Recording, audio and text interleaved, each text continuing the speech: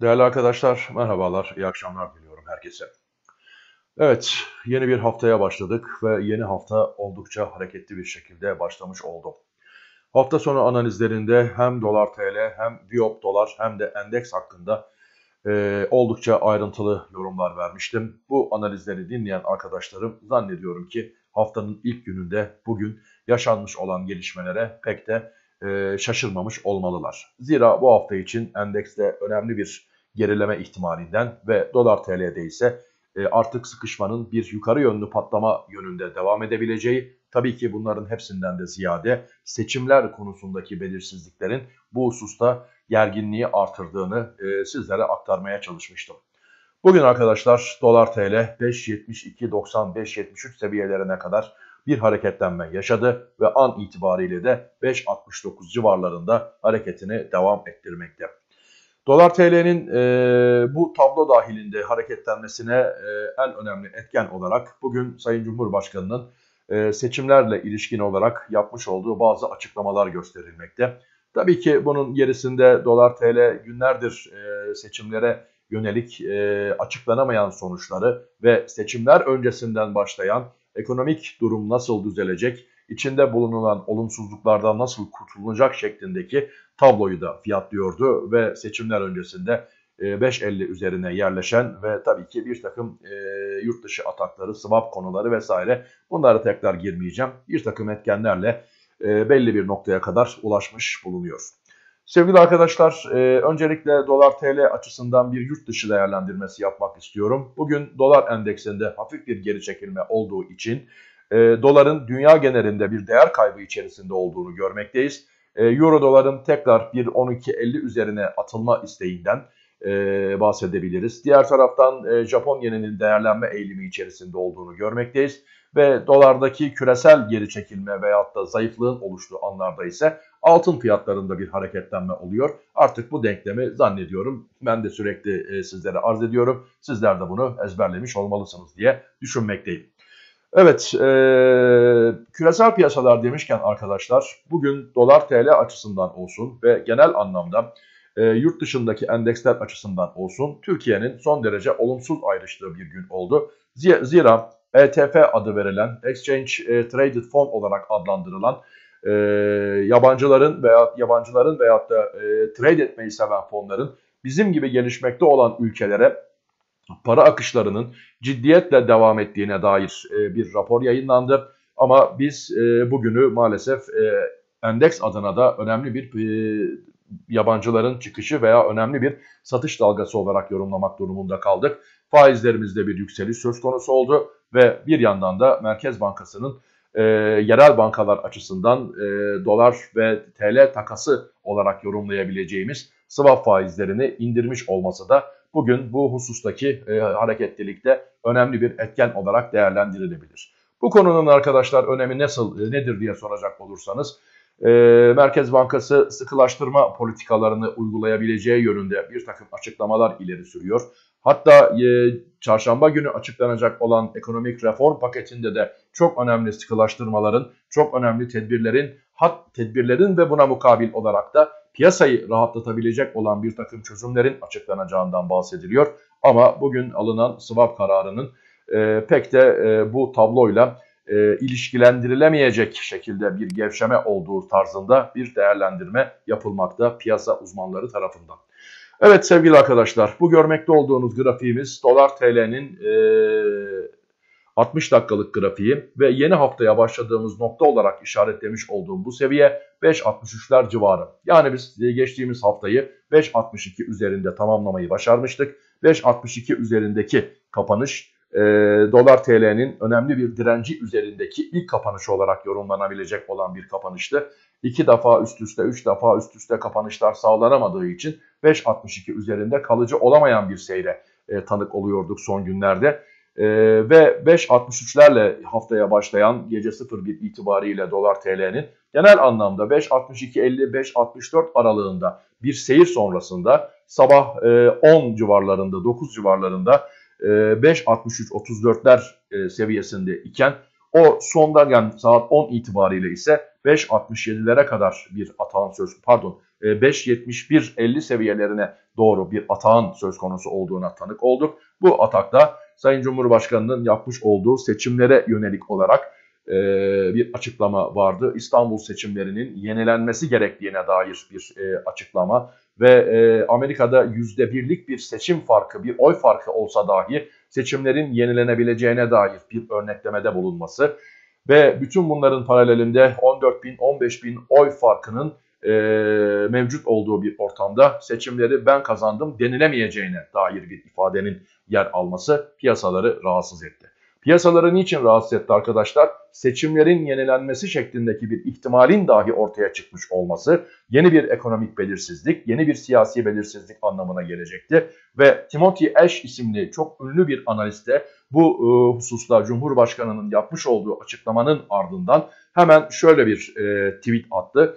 E, Türkiye'de e, e Cumhurbaşkanı Erdoğan Ankara seçimlerinin e, tekrarlanması hususundaki e, red kararı, YSK'nın red kararı ardından İstanbul'daki seçimlerin tekrarlanması konusunda bastırıyor şeklinde bir ifade kullandı. Yani bir anlamda e, yürütmenin yargıya e, bir tavassutta bulunma e, şeklindeki eğiliminin piyasalar tarafından hoş karşılanmayacağını ve Türkiye'nin sanki hiç e, çok daha önemli e, problemleri ve sorunları varken ki buna da atıfta bulundu. Ekonomik piyasaların ekonomik meselelerin nasıl çözümlenebileceği hususunu beklediğini vurgularken yeni bir seçim ihtimalinin gündeme gelmesinin rahatsızlığını e, ünlü bir analiz sıfatıyla dile getirmiş oldu. Ve arkadaşlar zaten onun da söylemesine gerek olmayacak şekilde piyasa bu haberlerin düşmesiyle birlikte 5.73'ler ardından da daha sonraki e, süreç içerisinde 5.70 seviyesinin bir destek konumunda e, algılandığı birkaç saat yaşandı. Şu saatlerde arkadaşlar saat 15 civarlarında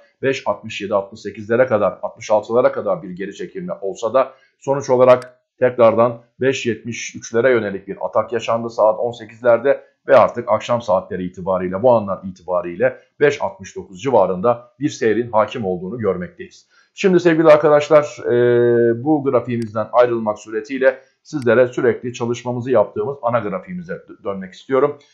Evet görmekte olduğunuz kırmızı ve beyaz çizgilerimizin hakim olduğu, bu çizgilerimizin sınırlamış olduğu önemli bir kanalımız vardı. Bu kanalımız yükselen bir kanal olduğu için sürekli olarak alt bandını destek olarak alıyorduk. Üst bandını ise bir direnç noktası olarak kabul ediyorduk.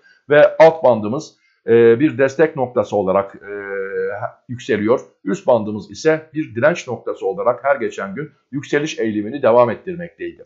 Arkadaşlar şu anda alt bandımız 5.47'ler seviyesinden 5.50-65 e, seviyesine yükselmiş durumda. Yani şurada görmüş olduğunuz bu alt band artık dolar TL için çok ama çok önemli. Hem kısa vade hem orta vade adına bir e, destek noktasıdır. Çok yakından takip edilmesi gereken bir destek noktasıdır. Bu destek noktasının kırılması durumunda tekrar 5.30'lara kadar devam edebilecek bir geri çekilme ihtimali oluşacaktır.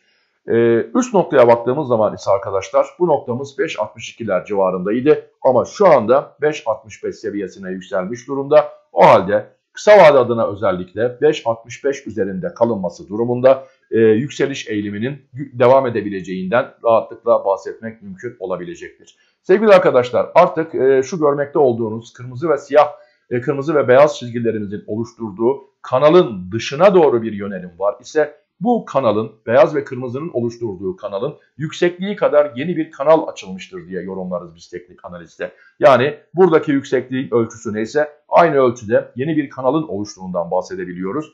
Bu durumda ise arkadaşlar ben bu kanalı sarı çizgim olarak çizdim ama yine de size göstermek bakımından bakınız arkadaşlar bu kanalın yüksekliğini şu şekilde aldığım zaman aynı miktardaki bir yükseliş olabileceği ihtimalini teknik analiz kriterleri fiyatlamış olduğu için veya belirlemiş olduğu için gördüğünüz gibi aynı oranda bir yükseliş yarattım ve bu kanalım ise bana diyor ki şu anda 5.79-58 seviyesine kadar bir yükseliş ihtimali kısa vade açısından mümkün olabilir. Veya şöyle bir tanımlama yapmak mümkün olabilir arkadaşlar. Artık kırmızı ve beyaz kanalından çıktık. Beyaz ve sarı kanalına girdiysek beyaz kanalımızın 5.65 olan seviyesini bir destek noktası olarak kabul ettiğimizde bu seviye destek olmak kaydıyla üst tarafta direnç olarak kabul etmemiz gereken nokta kısa vade itibariyle 5.79-58 olarak görülmekte. Evet arkadaşlar bu, e, bu birinci yöntem olarak e, içinde bulunmuş olduğumuz e, teknik durumu ifade eden bir grafiğimiz şeklinde bunu ben değerlendirdim sizlere. Bu tablo dahilinde arkadaşlar pivot sistem bizlere hangi e, seviyeleri yarın için önemsediğine bakalım. Henüz piyasa 24 itibariyle e, grafiklerimiz son şeklini almadı ama 5.69 e, civarlarında günün kapanacağını e, dikkate almak suretiyle yarın için 5.68-20'ler civarının e, pivot seviyesi olarak hesaplanmış olduğunu görmekteyiz. 5.68 üzerinde kalınır ise 5.74-33 seviyesine, 5.74 seviyesine dikkat edilmeli. Bu seviyeye kadar bir yükseliş olasılığı gündeme gelebilirmiş. Zira bugün de 5.73-90'lara kadar bir yükseliş oldu. O halde 5.74'e yaklaşımlarda dikkatli olmak gerektiğini biz pivot hesabından anlayabilmekteyiz. Şayet 5.74 üzerine çıkılır, bu seviye üzerinde bir 2 saatlik bir tutunma söz konusu olur ise bu durumda 5.79 seviyesine doğru bir hareketlenme söz konusu olabilir. 5.79 seviyesi de arkadaşlar az önce sizlere belirtmiş olduğum bu sarı e, kanalımızın üst noktası veya bu kanalımızın sınırları olarak ifade edilebilmekte. Tabii ki e, bu seviyenin de aşılması, gelecek olan haber trafiği, söylemler, açıklamalar, YSK'dan gelecek olan açıklamalar yani artık bunları tek tek izah etmeye gerek duymuyorum. Her an her saniye e, dolar TL'yi çok yakından ilgilendirebilecek kadar ciddi konularda bir haber akışı söz konusu ve bu haber akışı paralelinde ise e, önemli fiyatlamalar, önemli dalgalanmalar yaşanmakta. Bu açıdan kulaklarımız sürekli olarak bu haber akışında, gözlerimiz ise ekranlarda olmak durumunda e, kaldığımız oldukça zorlu ve heyecanlı günler yaşadığımızı söyleyebilirim. Şayet 5.79 üzerine yönelik bir yönelim söz konusu olur ise bu durumda hangi seviyeye dikkat etmek lazım? Bu yükseliş hangi noktada ya kadar devam edebilir sorumuzun yanıtını ise 5.84-5.85 seviyesi vermekte değerli dostlar. Arkadaşlar evet günlük olarak dikkat edilmesi gereken seviyeler bunlar. Şayet 5.68'in aşağısına inecek olur isek az önce sizlere şurada ifade ettiğim 5.65 seviyesi ve pivot seviye kriterlerimiz itibariyle de 5.63-65 seviyesinin önemli. Bunun da aşağısı söz konusu olacak olur ise çok çok iyimser bir hava söz konusu olacak olur ise bu durumda 5.58 gibi bir seviyenin gündeme gelebileceği e, ne ifade etmek söz konusu olabilecektir. Arkadaşlar bir de geniş bir pencereden bakalım isterseniz. Bu da bizim haftalık grafiğimiz. Bu grafiğimizde de e, oldukça aşina durumdasınız. 3.70'ler civarından başlayan ve 7.20'lere kadar devam eden yükselişler baz alınmak, referans alınmak suretiyle çizilen grafiğimizde Fibonacci kriterlerimiz itibariyle 5.50 seviyesinin önemli bir direnç, e, pardon destek noktası haline geldiğini, geçmişte yakın geçmişte bir direnç konumundaydı ancak artık burası e, bir rol değişimine tabi oldu ve şu anda bir destek konumunda e, net rakam vermek gerekirse 5.47-41 seviyesi bir e, önemli destek olarak çalışma, çalışması gereken bir destek konumunda yükselişin devamı adına. Bu seviye üzerinde kalındıkça arkadaşlar %38.2'ye denk gelmekte olan 5.88 seviyesini görmekteyiz. Yani arkadaşlar az önceki günlük grafiğimizde de gördüğünüz üzere 5.85, haftalık grafiğimizde ise 5.88, o halde 5.90 seviyesine yaklaşımlarda, 5.85-5.90 bölgesine yaklaşımlarda oldukça ve oldukça dikkatli olmak gerektiği sonucunu anlıyoruz. Ne zaman ki 5.90 üzerinde kapanışlar olmaya başlanırsa artık 6 üzerine çıkma 6.20-6.40 bölgesine doğru hareketlenme olasılığı teknik açıdan gündeme gelebilirmiş. Haftalık kriterler itibariyle baktığımız zaman değerli arkadaşlar 5.60 seviyesi bu haftanın pivot seviyesi olarak görülmekte. 5.60 seviyesinin üzerinde kalındıkça 5.76-77 seviyesinin ilk pivot direnci konumunda olduğunu görmekteyiz. Bu seviyenin aşılması durumunda ise 5.86 ardından da 6.02 seviyelerinin hafta genelinde dikkat edilmesi gereken kritik seviyeler konumunda olduğunu görüyorken şayet 5.60 aşağısında kalınır ise 5.57 ara desteğimizin ardından 5.51 seviyesine kadar bir geri çekilme riskinin oluşabileceğini pivot sistem mekanik bir sistem olarak tanımlamakta. Bir de arkadaşlar Merkez Bankası konusuna değinmek istiyorum. E, pardon özür dilerim. E, Biyo USD konusuna değinmek istiyorum. Dolayısıyla Merkez Bankası'na da değinmiş olacağız tabii ki. Hemen peşinen söyleyip Merkez Bankası hususunda dün aktarmış olduğum analizimde Merkez Bankası'nın son haftalarda herhangi bir short işlem açmadığını ve zararlı durumunun büyümekte olduğunu ifade etmiştim. Bugün gelişen ciddi atak Merkez Bankası'nın zarar boyutlarını biraz daha artırmıştır. Buna şüphe yok. E, Merkez Bankası bugün de arkadaşlar hiçbir vadede işlem yapmadı. İnsan vade, yeni açılan Mayıs vade ve Haziran vadede Merkez Bankası'nın herhangi bir short işlemi yapmadığını bugün de e, tespit etmiş bulunmaktayız.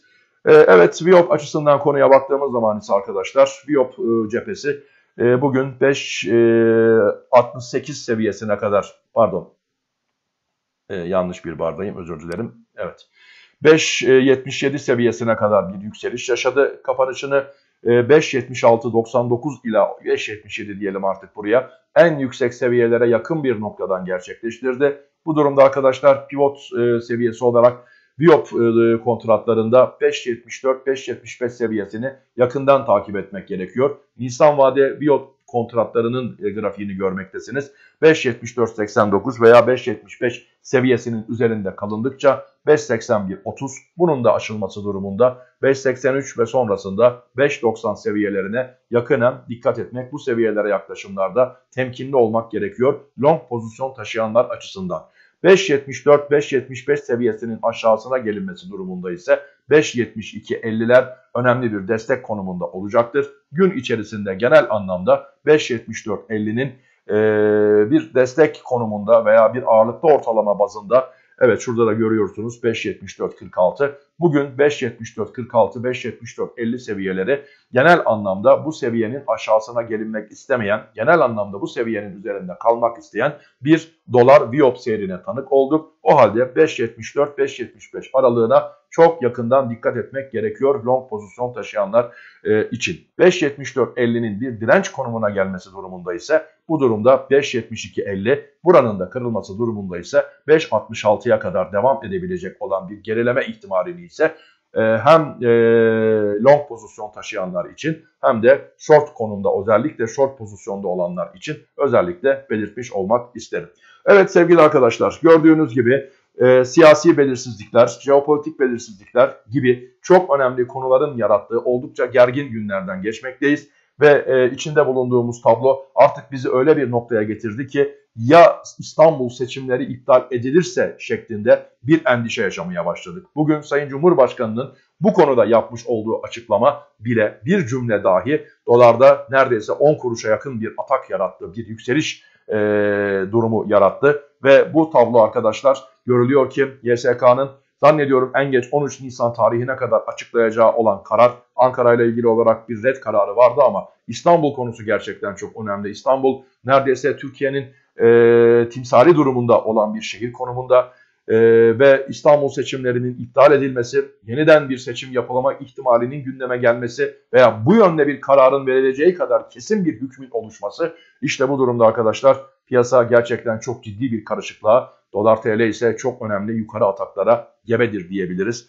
Ee, bu konuda iyi mi olur, kötü mü olur? Bu konunun değerlendirmesini yapmanın sırası değil şu anda. Elbette ki dolar TL'deki her yukarı hareket e, ülke açısından değerlendirildiğinde, ekonomik durumumuz açısından değerlendirildiğinde ve artık başlayan ve peş peşe ardına da geleceğini bildiğimiz zamların daha da katlanarak devam etmesi anlamında değerlendirdiğimizde belki e, zararda olan insanlar dolar TL'nin yükselişinden istifade edebiliyorlar zararlarını kapatmak adına ama geniş açıdan, geniş pencereden baktığımız zaman ise dolar TL'deki her bir kuruşluk yükseliş aslında bizlerin çok daha da fakirleşmesi anlamına geliyor. Bunun da bilincinde olmak gerektiğini bir vatansever olarak, bir milliyetçi insanlar olarak hepimiz adına ifade etmiş olayım istedim. Değerli arkadaşlar, bu akşamki yorumum bunlardan ibarettir. Ee, gelişmeler oldukça e, gün içerisinde de ve vaktim müsait oldukça gün içerisinde de gelişme aktarmaya çalışabilirim. Bu sebepten dolayı Kanalıma abone olursanız açık aktarılan analizlerden anlık bir şekilde bildirim sahibi olma imkanınız olabilecektir. Diyor sevgiler ve saygılarımla iyi geceler dileklerimi iletiyorum. Hoşçakalınız.